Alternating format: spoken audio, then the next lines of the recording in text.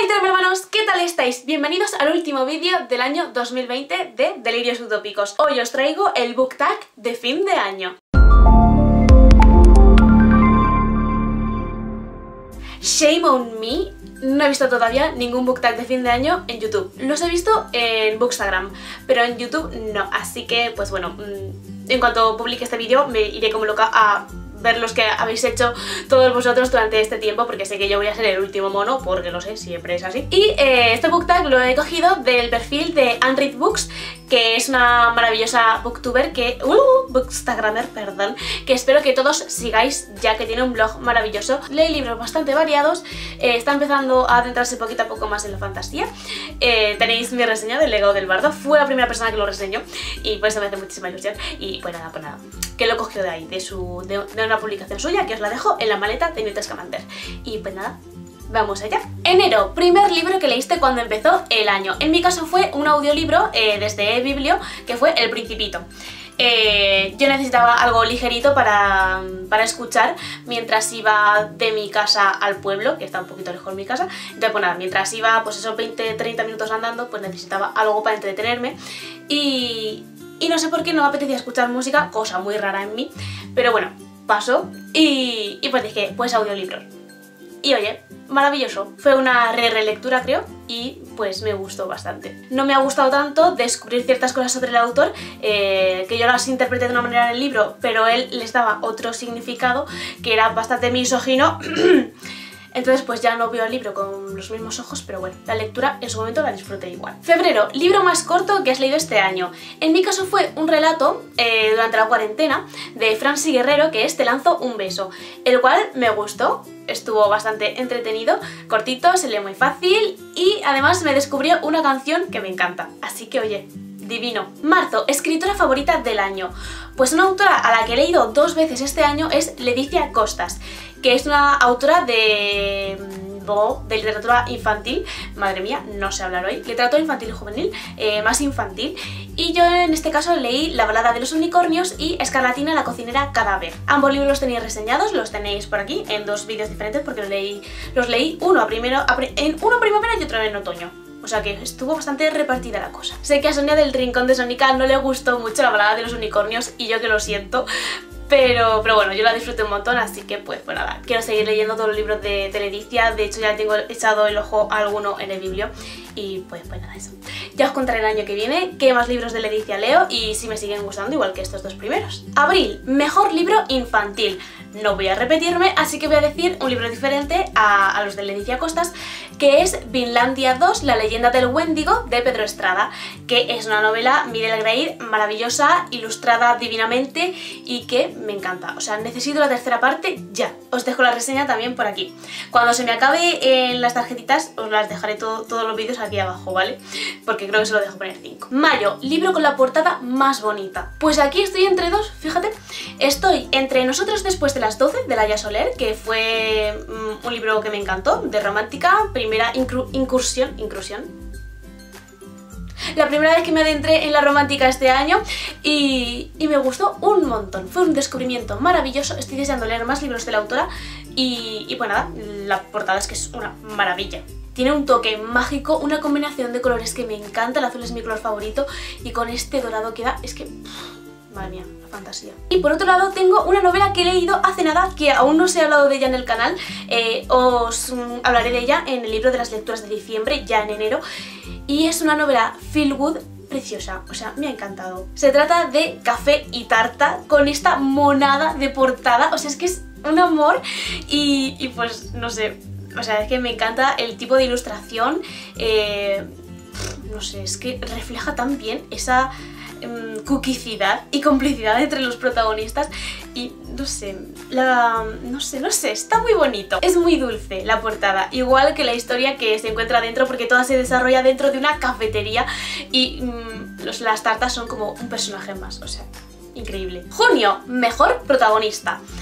Iba a decir algunos secundarios, pero como me pide protagonista, pues me puse yo ahí a pensar y pues nada, me quedo otra vez con La balada de los unicornios y su protagonista, Agatha MacLeod, o como se diga, MacLeod, lo, lo, que sea. Porque Agatha es una, una adolescente que mm, lo apuesta todo por su amigo, vence sus miedos y se lanza a una aventura impresionante, está lista para crecer, para afrontar lo que venga con tal de, salvar la vida de su amigo y es una persona que va aprendiendo poco a poco por el camino y me encanta. Tiene ese puntito rebelde, ese puntito... Em, ¿cómo se dice? De, amor, ¿no? De, el amor es, la amistad es amor al fin y al cabo. Luego también tiene su parte de, encontrar la propia identidad, eh, de ver para qué hemos venido a este mundo, qué, cuál es nuestra visión y no sé, me encanta. Estuve muy poco tiempo con ella porque el libro es muy cortito, pero oye, me gustó mucho todo lo que vivía a su lado. Julio, libro más largo que has leído, eh, como cada año que releo la saga, es La Orden del Fénix de Harry Potter. Agosto, libro que leíste más rápido. Fueron Los mejores peores días de Bruno Ucelay de Alex Maruñ, que ha sido otra de mis grandes revelaciones del año. Mm, ya sabéis que el, autor es un actor y director español que me gusta mucho y no sabía yo que tenía este don de escribir también. Oye, me encantó la pluma, me encantó la historia, me encantaron los personajes, me encantó la moraleja. Me encanta todo. La meditación, todo, todo, todo, todo. Fue maravilloso. En 24 horas me bebí todo el libro. Septiembre, libro de una autora nacional. Como no puede ser de otra manera, mi autora favorita es Libertad Delgado. Este año leí La Dama y el Bandolero y me volví a enamorar de ella. En su época fue el tercer libro suyo que leí, ahora ya he leído un cuarto y por favor, mmm, necesito más. Libertad Delgado, por favor, ponte a escribir otra vez ya. ¿Que aún has terminado de corregir el libro que te vete? Da igual, tú sigue escribiendo. Octubre, libro de terror. Y aquí he tenido un problema, porque yo no leo terror, mm, o al menos no asiduamente. Entonces, pues me he puesto en mi mi de esta anual de Goodreads a ver qué libros había leído. Bueno, para hacer todo el tag me he puesto en, en el reto Goodreads, que ahí están todos los libros que he leído este año hasta ahora. Y eh, pues el que más se parecía a terror, porque es Fantasía Oscura es el archivo de Victoria Schwab, de V.E. Schwab. Es el primer libro de una biología, me falta por leer el segundo que es El vacío y estoy deseando leerlo, el otro día lo vi en la FNAC y se me cayeron las lágrimas en plan yo lo quiero porque no tengo dinero. Pero bueno, eh, entonces pues nada, me gustó bastante. Había algunas escenas muy tétricas, ¿vale? No da miedo mmm, como tal, pero sí que da mal rollito. Hay alguna escena muy oscura que pasan cosas y oye, pues te preocupa. Así que yo creo que de todos los libros que he leído es el que mejor encaja en esta categoría. Noviembre, libro que quieres leer antes de que termine el año. Y aquí voy a decir otra novela, Feel Good, porque es que mmm, ya, ya en porque es que da la casualidad de que ya he encontrado el por qué no me gustan las novelas románticas convencionales. Y es porque a mí no me gusta exactamente la romántica, sino la novela feel good. Que la novela feel good es un género en sí mismo, no tiene por qué haber romance en, eh, en estas novelas, pero si es romance feel good, pues mejor que mejor. Así que pues, pues nada. Yo os hablaré más de esto eh, en otro vídeo que le haré expresamente a, este, a este tema, de por qué aunque nos guste un género no congeniamos con sus libros, porque tiene tela. Y pues nada, mm, resulta que dentro de, este género feel good me apetece muchísimo terminar el año leyendo La Casa de Mar de Pilar N. Colorado, que es una autora que he descubierto hace nada por la recomendación de Paola C. Álvarez, que es otra autora de romántica. Y pues nada, ella reseñó, es que me encanta porque mm, las cosas que tiene la vida, ¿no? Ella reseñó Café y Tarta de Mario Sanka, que no he dicho antes el autor, perdón, y, pues nada, ella dijo que había sido maquetadora, que le gustaba este libro y lo describía un poquito. Entonces yo le pregunté, ¿esto sería feel good? Y me dice, pues mira, no lo había pensado, pero sí, esta novela encaja en el género feel good. Y digo, ay, qué guay, pues ¿me puedes recomendar otras, otras novelas de este estilo? Porque me apetece leerla, pero no encuentro ninguna, porque es un término que no está muy extendido en España. Y entonces me dijo, pues mira, La Casa de Mar. Y casualidad que comentando un post del grupo de Facebook de, Paola C. Álvarez, ahí comentando a una pregunta que hizo Ana González Duque, qué lío. Eh, pues eh, yo mm, comenté algo Pilar, la autora de La Casa de Mar, me respondió diciendo que ella era escritora de Feel Good yo le pregunté cuál era su libro y me dijo La Casa de Mar y yo, anda, si me lo recomendó Paola hace nada y fue como, uy, qué maravilla.